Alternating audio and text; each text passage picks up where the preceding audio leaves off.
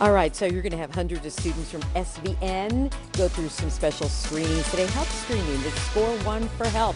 Find out all about it coming up.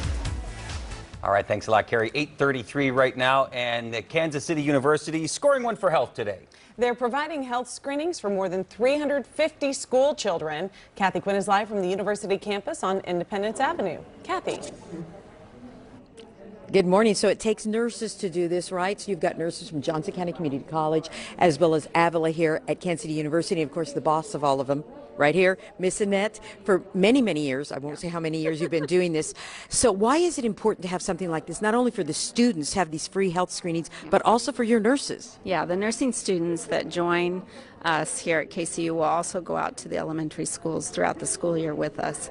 And it's so important. It's important for them to have that experience in the community. It's important for them to have an opportunity to see kids in their environment in a well situation and to perform these health assessments on them. All sorts of health assessments, height, weight, and what we're looking at right now. If you'll walk over with me, we've got Santiago. He's having the vision screening right now. And Hector, actually, Hector, I'm going to talk to you because last year you came to this screening, you didn't even know you needed glasses. Mm-hmm.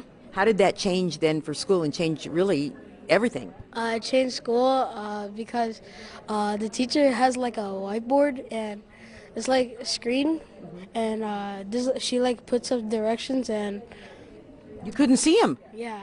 And now? And, and when I was there, I my te- and when I got my glasses, my teacher put me in the back and I could like see the board. Now you're getting straight A's, right? Okay.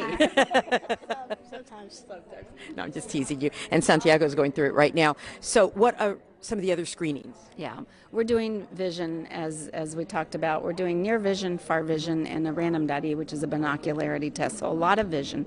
We measure height and weight. Um, do a BMI calculation for the kids. We check blood pressures. We look in their mouths and do a dental screening. And then our medical students are performing a physical assessment on the kids upstairs. So- Thank you so very much, Annette. And of course, this was an organization many, many years ago. Duran Cherry started. He didn't think he'd be doing it for 30 years now. Back to you guys in the studio. Uh, this is something that uh, they're going to help you know thousands of kids this year with. It's just incredible. Wow, that is such a great effort. Good stuff. Kathy Quinn live this morning. Thanks for that.